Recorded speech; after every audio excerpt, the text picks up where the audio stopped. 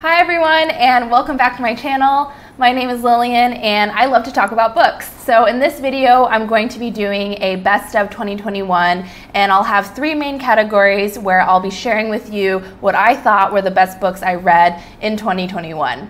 So the first category is going to be books about Singapore. The second category is going to be memoir or fiction written by Asian Americans. And then finally, we'll round things off with a general fiction category. So for each of these, I'll be telling you my top three picks as well as an honorable mention. This is based off of the ratings that I do in each YouTube video. I actually pop them all into an Excel spreadsheet and actually rank ordered everything. So this is from hard data, not just my whims. So I'll also be linking the individual YouTube videos that I did where you can get a more in-depth review if you're interested in checking out some of these books. Okay, so our first category is books about Singapore, and actually all of the books in this category that made the top three in honorable mention were also written by Singaporeans. So starting with our honorable mention, in fourth place or an honorable mention is We Make Spaces Divine by Pooja Nansi. This is a collection of poetry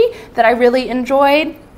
In third place, we have Balik Kampung 2A People and Places. This is a collection of short stories that are all fiction, and my friend Tim gave this to me for my birthday. I really enjoyed a lot of these short stories. In second place, a really, really good book that I really enjoyed. This is also a collection of short stories, but these are weird. These are a little off kilter, a little bit magical, a little bit surreal. Amanda Lee Koe is a really fresh voice, I think, in the Singapore lit scene. Um, so this was our runner up. And then, very nerdy, my top rated Singapore book for last year is actually Liberalism Disavowed, which is more of a political economy textbook or accompanying book for perhaps a class you might take on Singapore. This is by Chua Beng Huat. Um, a really, really good thinker, in my opinion, someone I admire a lot. And the key premise of this book is really taking a look at a lot of Singapore's early socialist and social democratic policies and how that kind of uh, interplays with the capitalism that we know in Singapore today. So, this was my most highly rated book that was about Singapore. Highly recommend if you know nothing about Singapore or if you live here. Either way, I think you'll learn a lot.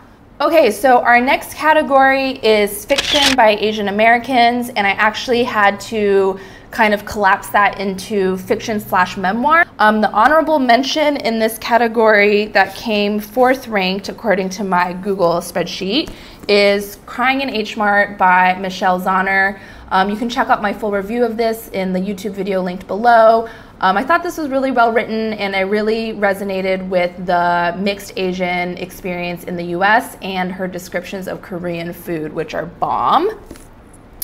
In third place, we have a book that I read on my Kindle. It's called Know My Name by Chanel Miller. This is just an absolute work of art. It's so well written and it captures emotion and uh, pain that I think no other book that I read last year really did. This is a memoir that tells her story of being sexually assaulted on Stanford's campus and I really just admired Chanel as a person over last year amid a lot of anti Asian hate. She was able to really use her voice and her art to spread some light and, more importantly, really capture emotions and feelings that I think a lot of that community was feeling and able to articulate it in a way that really resonated with the broader community.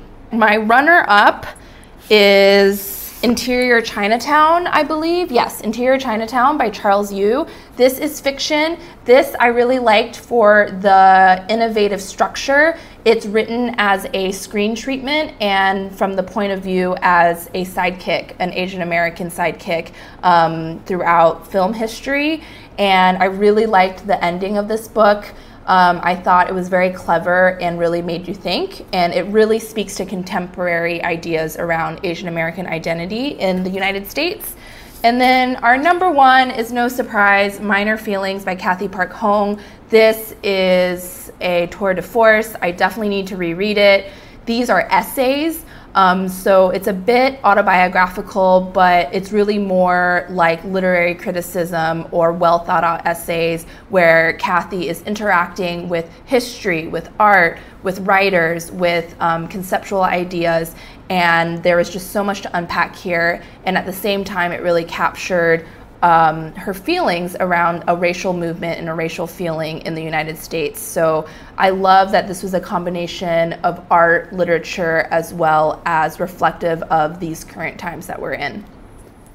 Okay, and then for my last category, which is just going to be general fiction, I have four recommendations that I would suggest you check out if you're looking for something um, that's plot driven and has good characters and will be engaging. Our honorable mention goes to Piranesi by Susanna Clarke, which I read with my book club.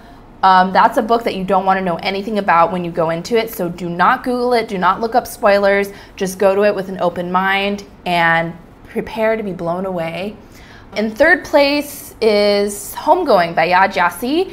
And that took me a while to get around to reading because that's been out for a few years now. I had read Transcendent Kingdom, which is her second book. I read them out of order. Homegoing is also a tour de force, like it is a triumph.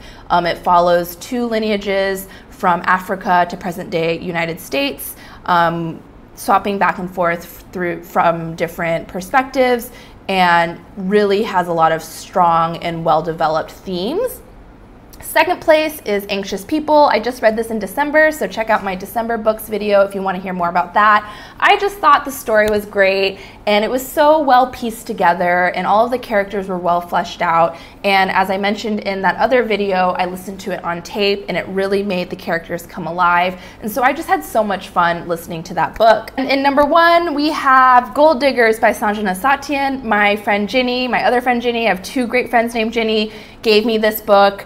Uh, her classmate wrote it, and it's her debut novel, and it's so impressive. The writing is super lush, and she really captures the Indian American experience, but also embeds a really compelling and intriguing supernatural element to the story. Um, it's a bit of, a bit on the longer side, but I really enjoyed that because I felt that she gave due treatment to her protagonist Neil and all of the shenanigans that he gets up to. Um, it kind of follows his coming of age story. So that is my first place for fiction in general, which I'm actually a little bit surprised by because I wasn't expecting it to be a book from the point of view of a young man. But the numbers do not lie, and that's what came out on top. So, if you're looking for a novel to read in the new year, I would suggest picking one of those four.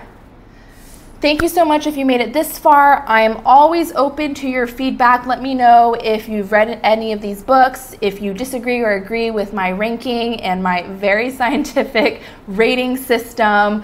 I'm going to be brainstorming how to make these videos even better this year, definitely on the shorter side and with a lot more content that will be relevant to you and will help you decide what you want to read.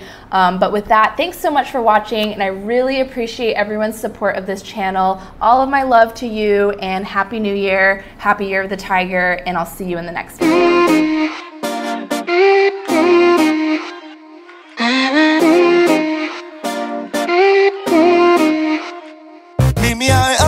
City where the Said you wanna go downtown, blushing on the low.